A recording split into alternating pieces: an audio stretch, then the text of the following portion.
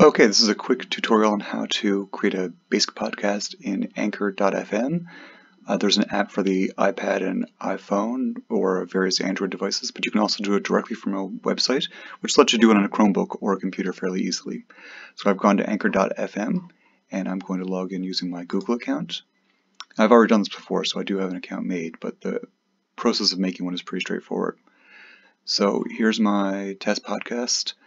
Um, I'm going to go straight to new episode up here in the top corner and click.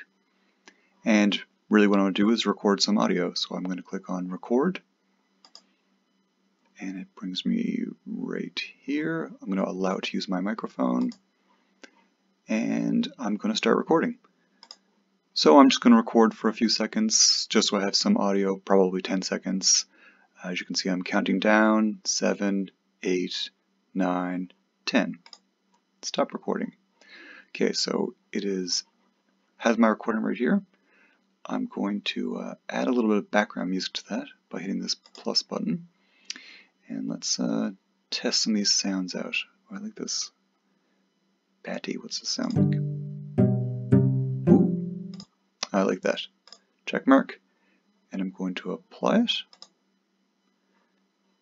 And you can see it's processing, and I'm going to add this to my episode can either drag it over or hit the plus button. So I'm going to drag it over here. And you can see I've got one segment uh, right there, August 29th at 10, 28th at 1056. So let's go back. I need a second segment. Um, I'm going to count down now again. I'm going to record. And now I'm recording again. Two, three, four, five, six, seven, eight, nine, ten going to stop. I'm not going to bother adding music to this time because we've already done it. I'm going to hit plus and add this one over. And we can see I have a 18 second segment and a 10 second segment. There's a little pencil here. I can rename these to make it a little bit easier to understand what I'm doing. So I'll just call this one my intro. And this one I'll call segment, well, let's call it the final segment I'm only making two. Alright, now I can preview this by hitting the preview button and I'll play them in the beginning, but I'd like to add something in between, a transition between the two parts. So I've clicked on the transition button and I've got some different sounds. Uh, that's a little too long, 12 seconds. Let's try what's anomaly sound like. Whoa, too much. Ah, very school-centric, I like that. I'll hit plus, now it's added in the order I have selected, so I'm going to grab this little dot section here, bring it in between the two sections so it'll play between my intro and my final section. Let's preview it.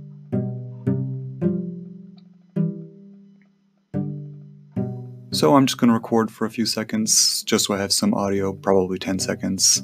As you can see, I'm counting down, 7, 8, 9, 10.